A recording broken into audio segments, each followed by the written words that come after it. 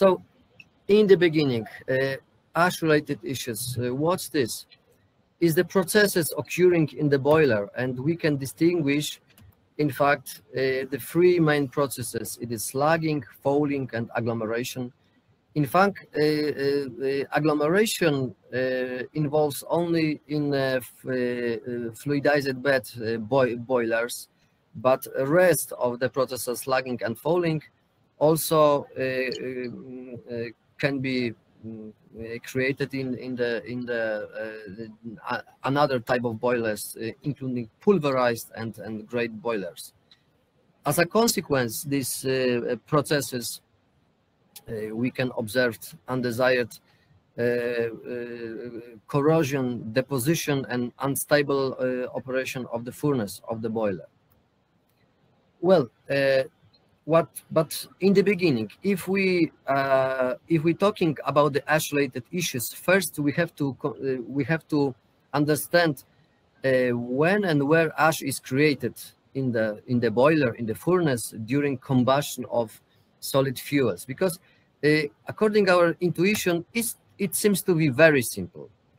Uh, if we consider combustion of the portion of, of biomass even coal even whatever uh, solid fuels, according to our intuition, we think that in the first stage, we can release uh, the gaseous products like carbon dioxide, water vapor, NOx, SOx, and so far, and so on.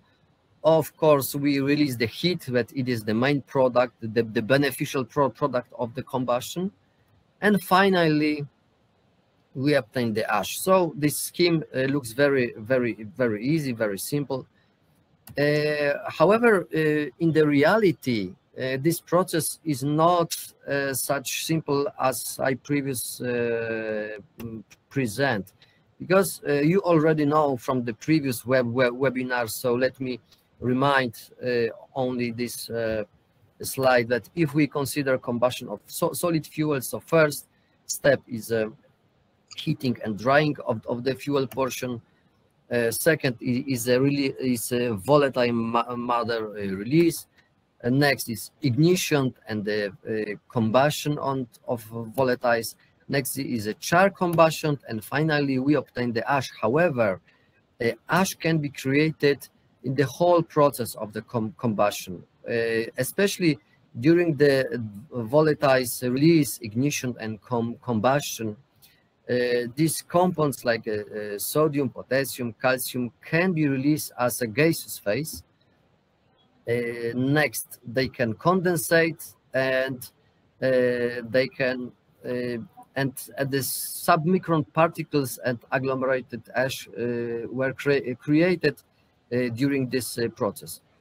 Also, the ash can be converted as a, a heterogeneous condensation. That means that this uh, this uh, gaseous phase or even aerosols liquid phase can be mm, condensated on the surfaces of ash or surfaces of boiler wall.